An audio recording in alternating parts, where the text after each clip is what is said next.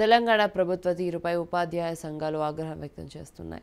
ఉపాధ్యాయులను టీఆర్ఎస్ ప్రభుత్వం దోపిడీ దొంగల్లా భావిస్తోందని ఆరోపిస్తున్నాయి. అసలు ఉపాధ్యాయుల వార్షిక ఆదాయాన్ని సమర్పించాలన్న ఆలోచన ప్రభుత్వానికి ఎందుకు వచ్చిందని ప్రశ్నించాయి. తెలంగాణ ప్రభుత్వం ఉపాధ్యాయులపై కక్ష సాధింపు ధోరణిని విడనాడాలని అంటున్న ఉపాధ్యాయ సంఘ నేతలతో మా ప్రతినిధి ఉదయరాజ్ ఫేస్ టు ఫేస్. ప్రభుత్వంపై అటు ఉపాధ్యాయ సంఘాలు పెద్ద ఎత్తున ఆగ్రహం వ్యక్తం చేస్తున్నాయి. ఖచ్చితంగా ప్రభుత్వం తీసుకున్న నిర్ణయం కావచ్చు మళ్ళీ ఉపసంహరించుకున్న అటు వార్షిక ఆదాయానికి సంబంధించి ఎస్పెషల్లీ ఉపాధ్యాయులు ఖచ్చితంగా ప్రతి ఏటా కూడా వార్షిక ఆదాయ పత్రాలను సమర్పించాలంటూ తెలంగాణ రాష్ట్ర ప్రభుత్వం తీసుకున్న నిర్ణయంపై ఆగ్రహం అసహనం కూడా వ్యక్తం చేస్తున్నాయి. ఉపాధ్యాయుల జీవితాలతోటి అదేవిధంగా త్రీ సెవెంటీన్ జీ జీవోను కూడా ఏకపక్షంగా తీసుకొచ్చి ఉపాధ్యాయ సంఘాలను కూడా నిర్లక్ష్యం చేసిందంటూ పెద్ద ఎత్తున ఆగ్రహం వ్యక్తం చేస్తున్నాయి. మనతో పాటు కొంతమంది ఉపాధ్యాయ సంఘం నేతలు ఉన్నారు. వారితో మాట్లాడించే ప్రయత్నం చేద్దాం. అలా చెప్పండి. వార్షిక ఆదాయాన్ని ప్రకటించాలంటూ తెలంగాణ ప్రభుత్వం ఒక నిర్ణయం తీసుకుంది. హుటా ఉన్న దాన్ని ఉపసంహరించుకుంది. అసలు ఈ నిర్ణయానికి గల కారణాలు ఏమై మీ- ఉంటాయని మీరు భావిస్తున్నారు? ఏదైతే ఈ మధ్యకాలంలో రాష్ట్ర ప్రభుత్వం కొన్ని అనాలోచితమైనటువంటి నిర్ణయాలు తీసుకుంటూ ఎస్పెషల్లీ ఉపాధ్యాయ వర్గం మీద ఉక్కుపాదం మోపేటటువంటి నిర్ణయాలు తీస్తూ ఉంది.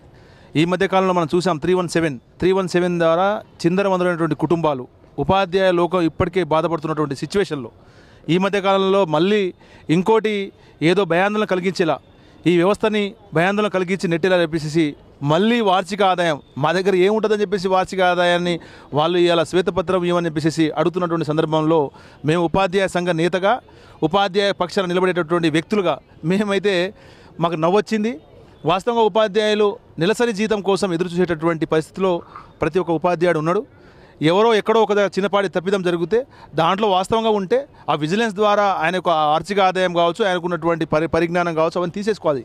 ఇలాంటి ఆరోపణల్ని మేము తీవ్రంగా ఖండిస్తూ ఉన్నాం. రాష్ట్ర ప్రభుత్వము ఇవాళ ఉపాధ్యాయుల యొక్క వార్షిక ఆదాయం వాళ్ళకున్నటువంటి పరిస్థితి జీతాలు వాళ్ళకి తెలుసు. ఇప్పటికే ఇవాళ ఉన్నటువంటి రాష్ట్ర రాష్ట్ర ప్రభుత్వం చేస్తున్నటువంటి పనిలో ఉద్యోగులకు జీతాలు సరైన టైంలో లేవు. నిరుద్యోగులకు అసలే వాళ్ళ జీవితాలే సరిగ్గా లేవు. ఇవాళ మనం చూస్తూ ఉన్నాం ఉద్యోగులకు జీతాలు సరైన టైంలో లేదు నిరుద్యోగులు జీవితాలు లేకుండా చేస్తూ ఉన్నారు. అదేవిధంగా రైతులకు భరోసా లేకుండా చేస్తూ ఉన్నారు.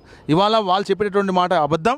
ఇవాళ రాష్ట్ర ప్రభుత్వం ఏదైతే ఉపాధ్యాయుల మీద కక్ష సాధింపు చర్యలు తీసుకుంటే మేమందరం కూడా ఉవ్వెత్తున మేము ఉద్యమిస్తామని చెప్పేసి చెప్పేటటువంటి హుటాహుటిన పొద్దున రిలీజ్ చేసి సాయంత్రం లోపు దాన్ని బ్యాన్ చేసేటటువంటి పరిస్థితి మనం చూసాము ఇవాళ నేను ఏమన్నా చాలా స్పష్టంగా చెప్తా ఉన్నా రాష్ట్ర ప్రభుత్వం అనాలోచిత నిర్ణయాన్ని ఈ మధ్య కాలంలో టూ ఇయర్స్ కరోనా వల్ల ఇబ్బంది పడ్డది.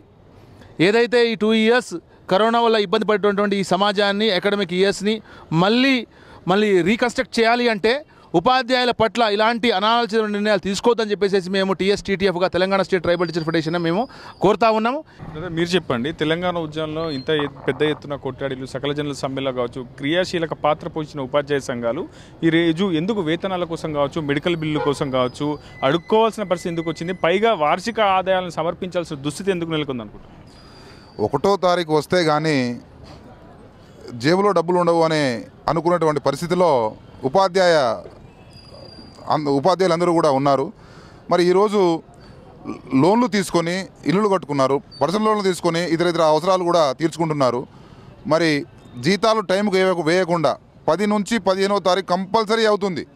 మరి బ్యాంకులో లోన్లు వాళ్ళు చెక్ బౌన్స్ చేయడము మరి ఉపాధ్యాయులు ఆ విధంగా కూడా నష్టపోవడము మరి సకాలంలో ఈఎల్స్ ఎర్నడు లీవ్స్ మేము ఏవైతే సంపాదిత సెలవులు ఉంటాయో వాటిని పెట్టేసి ఆరు నెలలు అవుతున్నా కూడా మరి ట్రెజరీలోకి వెళ్ళి వెళ్ళి అడిగితే డబ్బులు లేవు మేము వేయట్లేదు. డబ్బులు లేవు వేయట్లేదు. మరి మేము మాకు ఇంకా వేరే విధంగా ఆదాయం ఏమున్నది? మరి ఎవరైతే రియల్ ఎస్టేట్ వ్యాపారం చేస్తున్నారు అది అది, తదితర ఆరోపణలు ఉన్నాయో వాళ్ళ మీద డైరెక్ట్గా చర్యలు తీసుకోవాలి. తీసుకోండి. ఏవో ఏ ఒక్కరో చేసిన తప్పును ఉపాధ్యాయ సమాజాన్ని మొత్తం ఆపాదించడము దీన్ని మేము తీవ్ర తీవ్రంగా ఖండిస్తున్నాము. ఎందుకంటే ఎవరు తప్పు చేస్తే వాళ్ళని దండించండి. వద్దనట్లేదు. కానీ ఉపాధ్యాయులందరూ కూడా మరి ఇది ఆదాయ వ్యయాలు ప్రతి సంవత్సరం మేము మీరిచ్చే జీతమే కదా. మేము గవర్నమెంట్ గవర్నమెంట్ నుంచి పొందిన జీతాన్నే మేము అరే అయ్యా మేము ఈ విధంగా ఖర్చు చేసుకున్నాము మా డబ్బులు అని చెప్పి ప్రతి సంవత్సరం కూడా మరి మేము ఇన్కమ్ ట్యాక్స్ కడుతున్నాము. మరి ఆ విధంగానే చేస్తున్నాము. మరి ఇంకా మరి ఆదాయ వ్యయాలు మీరు సమ- సమర్పించాలి. మీ ఆస్తులన్నీ ప్రకటించాలి. అయ్యా మేము రాజకీయ నాయకులము కాదు రాజకీయం చేయదలుచుకోవట్లేదు. మేము ఉపాధ్యాయ పవిత్రమైన ఉపాధ్యాయ వృత్తిలో ఉన్నాము.